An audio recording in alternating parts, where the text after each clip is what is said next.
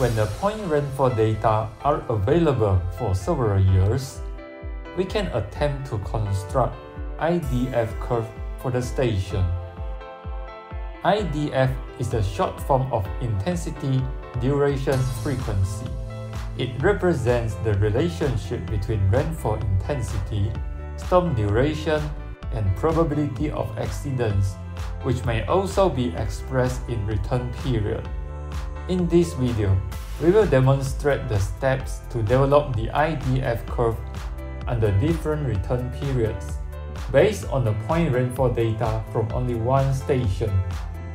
Recalling the maximum rainfall depth we obtained in the previous video on the derivation of maximum intensity duration relationship. Let's assume those values are the maximum annual depth for corresponding rainfall duration for the year 2000. As for the storm duration, we only focus on 5, 10, 15, and 30 minutes, as well as 1, 2, 6, 12, and 24 hours. Data for the remaining cells should be obtained from the same procedure. Here we just assume the derivation of maximum intensity duration relationship has been repeated for all these durations and years. This completed table is what we have at the end of the process. It will serve as the input for the development of IDF curve. For each rainfall duration, we need to determine the mean and standard deviation of rainfall depth over the 21-year period. Next, we should choose our ARI to proceed. For this scenario, we will develop the IDF curve for 2, 10, 50, and 100 years ARI. After that, we can determine the frequency factor for each of them. Then, we should calculate the rainfall depth for specific storm duration and ARI by using this formula. Note that we should convert the rainfall depth to rainfall intensity simply by dividing the depth with corresponding storm duration. At this point, we can plot the curve of rainfall intensity against rainfall duration for each ARI.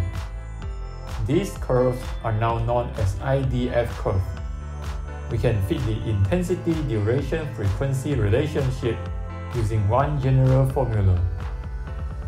To do this with ease, we may use the solver from Microsoft Excel.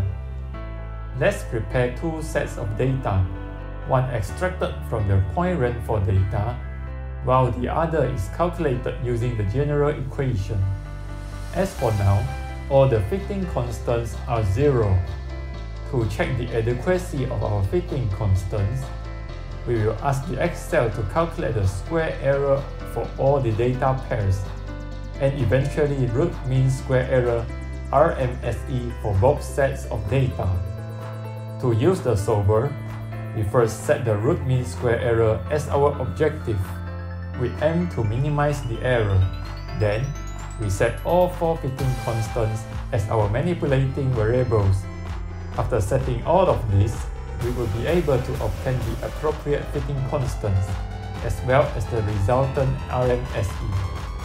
The calculated fitting constants are only usable for this specific rainfall gauge station. Thank you for watching. If you find this video helpful, please share it with your friends. We will see you guys soon. Goodbye.